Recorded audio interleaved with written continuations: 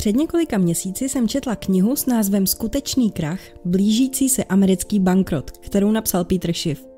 Kniha hovoří o nadcházející finanční krizi a proč bude mnohem větší než ta v roce 2008. Pro mě osobně byla nejzajímavější částí kapitola, kde Peter vysvětluje, jak do krize investovat, abyste na ně co nejvíce profitovali. Na začátku kapitoly stručně vysvětluje svou investiční strategii a uvádí seznam zemí a odvětví, do kterých byste investici měli zvážit. V tomto videu se zaměřím na schrnutí pouze této kapitoly. Nejprve mi ale dovolte vám říct pár slov o autorovi. Jako člověk, který studoval finance a makroekonomii přes 10 let, mohu říci, že Peter je jedním z mála lidí, kteří opravdu vědí, o čem mluví. Krizi roku 2008 předpověděl velmi přesně a mnoho jeho dalších předpovědí se již také naplnilo. Pojďme se tedy přesunout k hlavní části. Peter říká, že abyste mohli dobře investovat, musíte mít dlouhodobý časový horizont. Krátkodobý je příliš neklidný a vratký. Na srovnání, nejlepší střelec v basketbalu může mít špatnou hru. V průběhu sezóny však bude mít nejlepší procento střelby. Pokud se na to tedy podíváme z dlouhodobého hlediska, je třeba si položit následující otázku. Jak se bude lišit svět za 10 nebo 20 let? Peter říká, že pokud se budete snažit najít odpověď, uvidíte, že právě teď jsou Spojené státy středem ekonomického světa. Amerika je vnímána jako nejbohatší země a dolar je rezervní měnou. Amerika by nemusela nic produkovat a stále by si mohla vše koupit. Úrokové sazby jsou nízké a mohou si bláznivě půjčovat. Pozice Ameriky ve světě se ale změní. Žijí si nad poměry, což je něco, co nemůžete dělat věčně. Ať už postupně či náhle, jejich schopnost konzumovat bez vlastní produkce skončí. Co se pak stane? Položte si následující otázku. Jak je možné, že Amerika toho spotřebuje více, než kolik toho vyprodukuje? Je tomu tak proto, že někdo jiný zase vyráběl více, než kolik sám spotřeboval. Jak si mohli půjčovat? Protože někdo jiný šetřil a půjčoval. Jinými slovy, američané si mohou žít nad poměry jen proto, že mnoho zemí je ochotno žít pod poměry. To znamená, že někde jinde na světě je více poskytovatelů půjček, nežli těch, kteří si půjčují a potlačovaná poptávka a přebytečná produkce. V budoucnu tyto ekonomiky zaznamenají prudký nárůst poptávky, zatímco v Americe poptávka klesne. Peter říká, že byste měli investovat do podniků, jejichž zákazníci budou v budoucnu bohatší. Měli byste dnes investovat tam, kde lidé šetří a vyrábějí.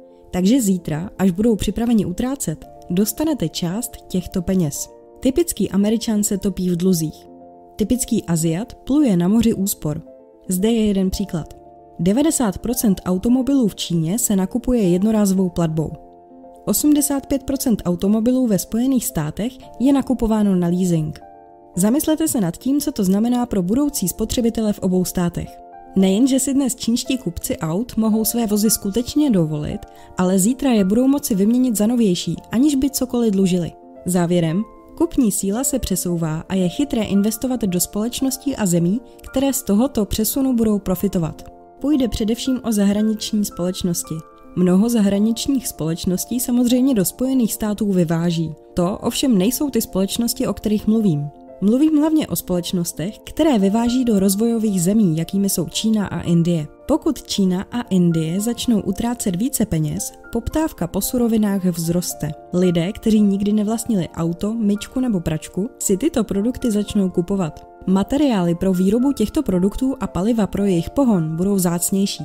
Také, jakmile lidé zbohatnou, začnou více jíst a začnou také jíst více složitějších jídel. Bohatší společnosti obecně konzumují více masa. Chov krávy nebo prasete vyžaduje spoustu obilí. Sníte více kukuřice, když si dáte steak, než kdybyste si dali kukuřici. V důsledku toho velmi poroste význam přírodních zdrojů a zpracovatelského a zemědělského průmyslu. V tomto okamžiku jsem si jistá, že vás zajímá, do kterých zemí stojí za to podle Petra investovat. Než vám tento seznam poskytnu, dovolte mi, abych vám řekla, že si Peter nevybírá země jen na základě jednoho nebo dvou faktorů. Studuje jejich měnovou politiku, regulace, daně, politickou stabilitu, přírodní zdroje a mnoho dalšího. Seznam zemí, do kterých Peter doporučil investovat před krizí v roce 2008, se dodnes nezměnil. To, co v té době doporučoval, zůstalo téměř stejné.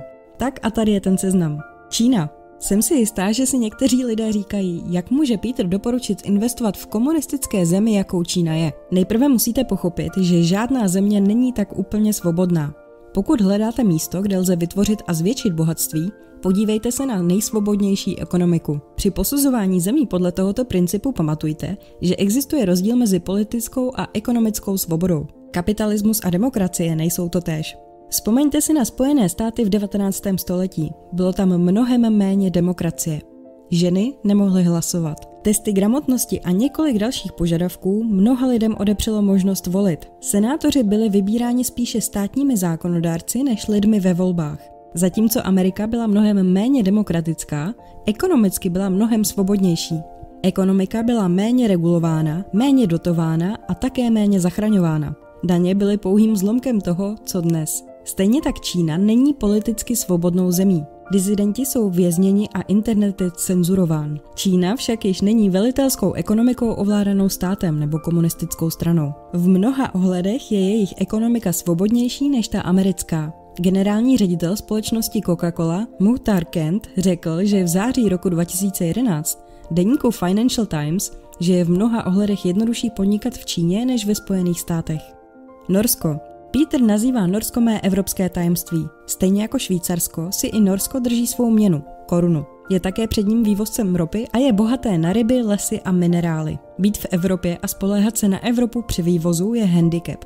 Ale když prodáváte palivo a jiné přírodní zdroje, podstatným trhem pro vás je trh globální. Takže Norsko by mělo být schopné se přizpůsobit v případě, že Evropa padne. Také poté, co se z první ruky poučili z problémů sociálního státu, se politické kivadlo nyní hýbe opačným směrem. Nizozemsko. Možná víte, že Spojené státy jsou předním světovým vývozcem zemědělských produktů a Francie zaujímá druhou příčku. Pravděpodobně jste ale nevěděli, že Nizozemsko je na místě třetím. Překvapivé je také to, že nizozemské ložisko zemního plynu Groningen je největší v Evropě. Nizozemsko má stabilní ekonomiku a je aktivním obchodním partnerem chlubícím se obchodním nadbytkem. Švýcarsko. Pokud jsou Spojené státy tím ztraceným synem, tak je Švýcarsko jeho bratrem, který zůstal věrný svým kořenům. Švýcaři stále dodržují mnoho zásad, na nichž obě země, Švýcarsko i USA, byly založeny, včetně federalismu a vyhýbání se spletitým spojenectvím. Švýcarsko nikdy nevstoupilo do Evropské unie a nepřijalo euro. Již dlouho zde sídlí některé z nejúspěšnějších bank a pojišťoven. Zdravotnické a chemické společnosti zde také velmi prosperují. Leží uprostřed Evropy a je předmětem některých vřav na kontinentu, ale nezávislost z této země činí jakousi oázu. Je mnohem snaží podnikat ve Švýcarsku než v Evropské unii. Kanada. Vyrábění, těžení, vrtání, extrahování a těžba dřeva. To vše Kanada dělá. Podívejte se na čísla jejího hospodářského růstu a budete si myslet, že jde o nějakou rozvojovou zemi, která rychle roste. Bankovní systém země také stojí na mnohem pevnějších základech než ten americký. Slabinou Kanady je, že tolik závisí na jejím velkém jižním bratrovi, na Americe. Jak se však obchod s Amerikou zpomalí, obchod s ostatními rozvojovými ekonomikami vzroste, aby vyplnil prázdné místo. Nový Zéland. Tento malý pacifický stát má obrovský potenciál růst. Přecházejíc ze zemědělství na výrobu, Nový Zéland provádí dohody o volném obchodu po celém světě. V roce 2008 se dohoda o volném obchodu mezi Novým Zélandem a Čínou stala první čínskou dohodou tohoto druhu s rozvinutým státem. Hongkong. Hongkongský model kapitalismu představuje nízké daně a nízkou regulaci, což z něj činí korporátní meku Asie. Hongkongská burza je pátou největší na světě. Tento malý kus země v Číně je politicky velmi zvláštním stvořením. Je pod čínskou vládou, ale její ústava určuje, že Hongkong bude mít ekonomiku kapitalismu. To pomáhá vysvětlit vzkvétající bohatství i horlivost korporací zřídit zde své sídlo. Není překvapením, že polovina hongkongského vývozu směřuje do Číny. Singapur.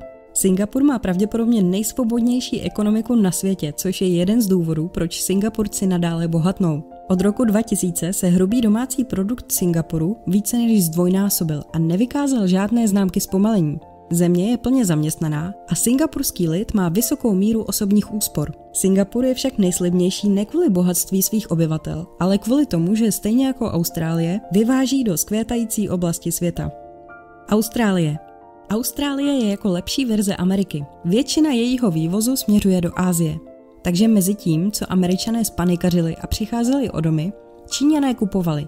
A tak Austrálie prodávala. Dalším klíčovým faktorem je, že má země obrovské zásoby zemního plynu.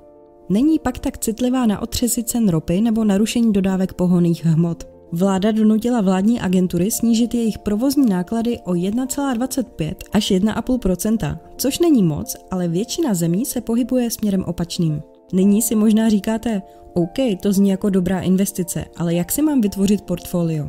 Autor si myslí, že všechna investiční portfolia musí být vyvážená. Představte si stoličku se třemi nohami. Pokud bude jedna chybět, stolička bude nestabilní. Pítrova strategie je jako stolička se třemi pevnými nohami. První, kvalitní zahraniční akcie ve správných sektorech vyplácející dividendy. Druhá, likvidita a stabilní investice, jakými jsou hotovost a zahraniční dluhopisy. Třetí, zlato a akcie firm těžící zlato. Pojďme nejprve probrat první nohu stolečky, kterou jsou kvalitní akcie vyplácející dividendy. Autor říká, že nejlepším důvodem pro nákup akcí není jen to, že si myslíte, že jejich hodnota vzroste. To je spekulace. Ale také proto, že vyplácejí dividendy.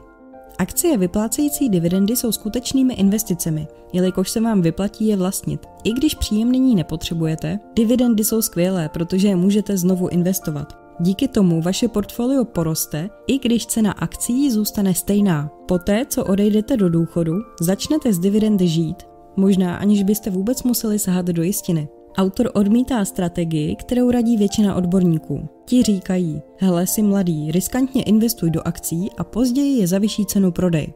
Pokud tam chybí dividendy, připomíná to Ponziho schéma. Nekupují tyto akcie s očekáváním výplaty. Kupují je s očekáváním, že za ně někdo bude později ochoten zaplatit vyšší cenu. Tomu se říká teorie většího blázna. Pokud jde o budování akciového portfolia, Peter se zaměřuje na čtyři složky. Země, měny, sektory a jednotlivé akcie v tomto pořadí. Tomu by investiční komunita řekla přístup ze zhora dolů. Nejprve se rozhodněte, do kterých zemí chcete investovat. Poté se rozhodněte, které měny nabízejí ty nejlepší vyhlídky na zachování své hodnoty. Nakonec se rozhodněte pro sektory a jednotlivé akcie v tomto sektoru. Nejlepší země budou mít také ty nejlepší měny, ale musíte pamatovat, že ačkoliv se společnost nachází v zemi, která se vám líbí, stále může získávat většinu svých příjmů v měně, která se vám už tolik nelíbí.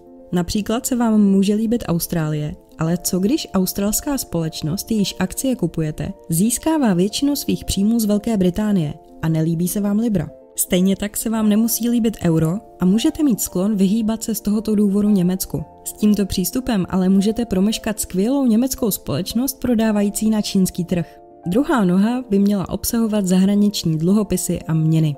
Švýcarský frank a australský dolar jsou Petrovi oblíbené. Vždy vyhlíží cizí měny, které by držel. Ne kvůli měnovým spekulacím, ale kvůli relativně bezpečnému a likvidnímu uložení bohatství. Hlavním důvodem pro držení hotovosti je možnost okamžitě utrácet. Za prvé můžete se ocitnout v mimořádné události. Můžete přijít o práci nebo mít autonehodu. Ale z hlediska investování chcete držet hotovost, abyste mohli těžit z příležitostí, které se naskytnou. Třetí nohou je zlato a akcie firm těžící zlato. Peter ve skutečnosti nebere zlato jako alternativu k akcím. Porovnává ho s dolarem, eurem a jenem. Jinými slovy, porovnává skutečné peníze, zlato, s nekrytými penězi, měnami. Měli byste brát zlato jako držitele hodnoty. Klíčem k investování do zlata je vědět, kdy jej držet a kdy jej použít k nákupu akcí nebo jiných aktiv. K tomu musíte pochopit, kde se v ekonomickém cyklu nacházíte a jak se mohou jeho základy do budoucna změnit. Osobně se domnívám, že dnes jsme v bodě, kdy jsou drahé kovy, zejména zlato a stříbro, podhodnoceny a má smysl do nich investovat. Kromě toho, že budete vlastnit fyzické zlato, měl by váš podíl zlata obsahovat i akcie firem těžící zlato. Pokud bychom pohlíželi na budování akciového portfolia zlata jako na stavbu pyramidy, její základy bychom postavili na akcích vedoucích producentů, kteří mají spoustu ověřených zdrojů. Pak bychom vystavili další část producenty na střední a nižší úrovni. Úplný vrchol pyramidy by se stával ze společností zabývajících se průzkumem zlata. Doufám, že jste si video užili a těším se příště.